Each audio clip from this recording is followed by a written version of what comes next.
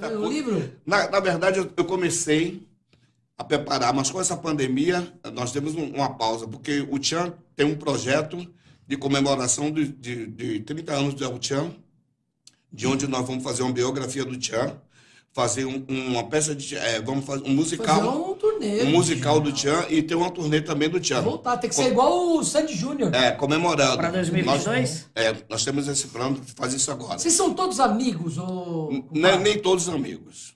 mas profissionalmente consegue juntar todo mundo? Não. Não, Não, também? porque, tipo assim, a gente pode, consegue juntar o jacaré, a Sheila Mello.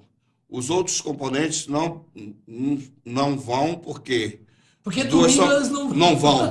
Porque, porque são, ca- são casadas e. Ah, não É, também. o- o- a Débora Brasil é evangélica. Ah. E aí, esses dois eu sei que se a gente chamar, como vai participar? Aí, você de São Paulo, vocês estão convidados, dia 31 agora, na áudio, tem El Chan do Brasil, participação de Sheila Mello. 31 agora de outubro? É agora. 31 de outubro. É agora. 31 de outubro? É semana, que- essa semana. Essa semana. É semana, sábado. Sábado, agora. sábado.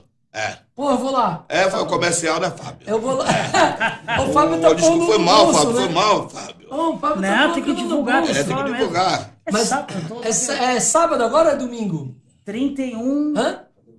É, ainda tem no Rio, é, tem o Rio de Janeiro. Alô, Rio de Janeiro, estamos chegando dia 6. É. Estamos chegando lá no, parte, no? Vidigal. É. Lá no Morro do Vidigal Morro também estamos chegando. Bom, bom pra caramba. Bom Nós- e graças a Deus as coisas estão começando a caminhar. Tá bom. e o- os shows estão surgindo, mesmo com, com várias ah, as precauções que têm que ser tomadas.